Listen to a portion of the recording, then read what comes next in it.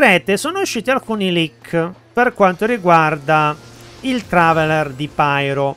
Nulla di concreto in questi, in questi leak, però diciamo che si parla tanto delle possibilità di questo personaggio.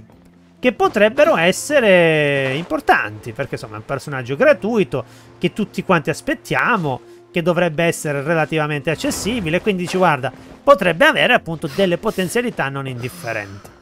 Ora, lungi da me da andare a smentire o confermare robe, però quello che ti posso dire è che un paragone che è stato fatto da tante persone in rete, a mio modo di vedere abbastanza in modo strano, è che appunto hanno voluto paragonare il Traveler di Pyro al Traveler, o quantomeno al Trailblazer di Honkai Star Rail versione Imaginary. Per quale motivo? Perché a detta di queste persone dovrebbero avere la stessa potenza. O quantomeno i due personaggi sono simili proprio perché ti offrono un qualcosa che normalmente non hai nel gioco. Sempre a livello di potenza. Ora, io non sono d'accordo, nonostante non ho visto appunto questi presunti leak sul Traveler di Pyro, però non sono d'accordo con questo paragone per quale motivo? Perché tecnicamente il Trailblazer Imaginary di Star Rail ti serve per fare una meccanica unica. Quale sarebbe questa meccanica unica?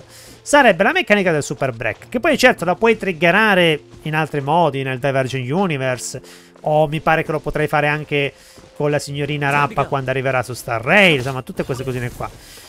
Però appunto il senso è che questa meccanica non la puoi sfruttare senza il Trailblazer Immagine in questo momento all'interno di Star Rail. Mentre invece lo stesso non si può dire, appunto, di Genshin Impact. Cioè all'interno di Genshin Impact non ci sono meccaniche esclusive che si sbloccano solo dopo che prendi un personaggio, in questo caso il Traveler. Non è mai stato così. Quindi fare un paragone di questo tipo secondo me non ha senso proprio perché il Traveler non ti offre una meccanica esclusiva. E quindi andare a dire che guarda hanno lo stesso livello di potenza, penso, credo che sia abbastanza inesatto al momento. Al di fuori di questo però, dato che si sta parlando tanto anche della signorina Mawika, è giusto per darti un'idea, all'interno della beta immagino, quantomeno da quello che si dice della versione 5.2, la signorina Mawika ha il suo kit in versione di test con il personaggio di Shelling. E quindi già da qui so, alcune ipotesi che potrebbe essere un buon applier o chissà cos'altro.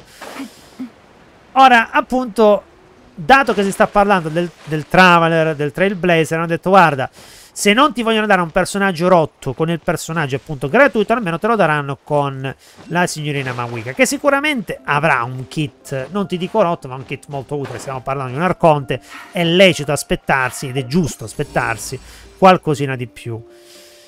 Però anche qua io vorrei andarci un pochino con calma, cioè che non credo che basterebbe appunto rendere Mawika una must pull perché già lo è e quindi far uscire un Traveler di Pyro che poi magari non serve a niente. Cioè, secondo me sarebbe un peccato.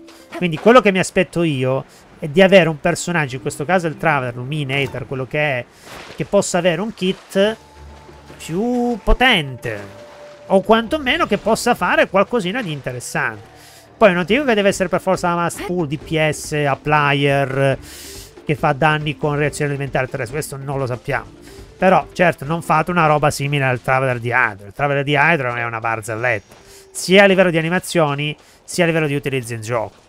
Però appunto questo paragone che puoi trovare su Reddit, Twitter e tutto il resto mi ha fatto abbastanza ridere perché essenzialmente Genshin e Star Rail sono proprio giochi diversi e come tale li devi considerare, non, non li puoi mettere sullo stesso piano perché eh, se ti danno il Trailblazer Imaginary lo, lo hanno reso più potente anche e soprattutto perché i personaggi Imaginary non sono tantissimi nel gioco, quantomeno non sono accessibili al di fuori di Yukong quando te la danno appunto gratuita e poche altre robe.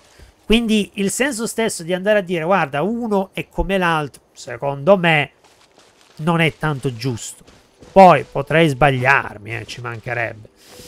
Però capito, ogni tanto si parla appunto tanto di alcuni leak che puoi trovare in rete, poi la veridicità del tutto è sempre una cosa secondaria e devi solamente valutare l'opinione o quasi insomma, di quello che ti vanno a dire a livello di leaker e tutto il resto, che io lo, ripeto da una vita, mai fidarsi troppo dei leaker che sono delle drama queen allucinanti. Però detto questo, aspettiamo, magari nelle prossime ore, nei prossimi giorni ci diranno qualcosina di più per quanto riguarda appunto il, il Traveler, la signorina Mawika, contando che devono arrivare i leak veri e propri appunto di Chaska, di Ororon.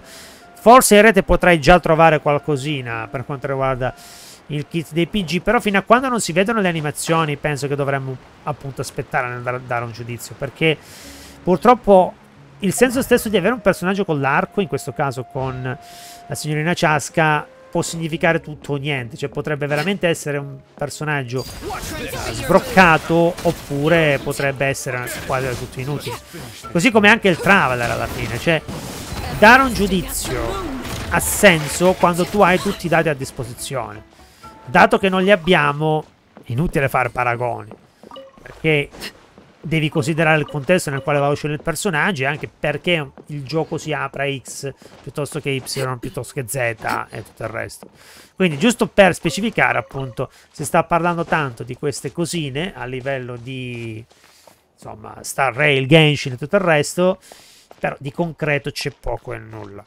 Poi io vorrei vedere, come ti ho detto prima, un bel Traveler che possa fare più cose, però la certezza di tutto ciò ce l'avremo solamente nei prossimi giorni barra prossime ore. Tu hai detto che non hai visto di cosa parlano i leak, quindi che ne sai che non si apriranno meccaniche esclusive anche su Genshin? Beh, non c'è bisogno di vedere queste cose, Zen, lo sai perché? Perché gli sviluppatori stessi hanno detto due anni fa che non si sarebbero aperti a meccaniche rivoluzionarie per quanto riguarda il sistema degli elementi di Genshin. Quindi tenendo in considerazione questa informazione, noi già sappiamo e abbiamo già visto tramite appunto la meccanica dell'impeto dell'anima della notte, questi punti della grazia della notte, come cavolo si chiamano, che appunto lato meccaniche Genshin in questo momento non ti offre nulla di così tanto eccezionale. Al di fuori di questo, eh, è vero che non ho visto questi leak, ma lo sai perché non li ho visti, Zane? Perché non sono usciti. Tutto qua.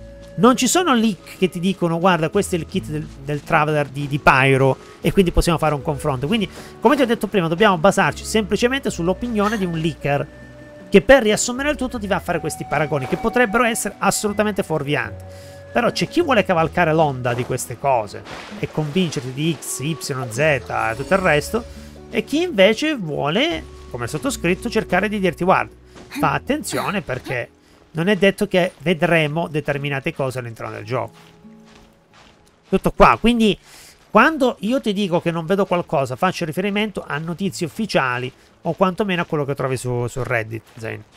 E comunque su Genshin c'è già una meccanica esclusiva, ovvero il Super Bloom di Nilu. Sì, ma non è la stessa cosa, Zain. Dai, non, non uh, confondiamo troppo il tutto.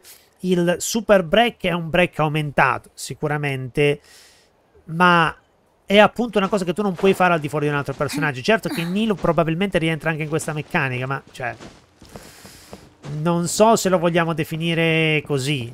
Perché Nilo è un personaggio eh, limitato. E quindi qualsiasi cosa lei ti può offrire ha senso nel suo kit. Mentre invece il Trailblazer Imaginary ti offre questa meccanica perché al momento è l'unico personaggio ed è quello free to play che appunto ti permette di fare questo. Cioè, per farti un esempio un pochino più particolare, senza il super break tu non riesci a fare la sfida contro Sunday.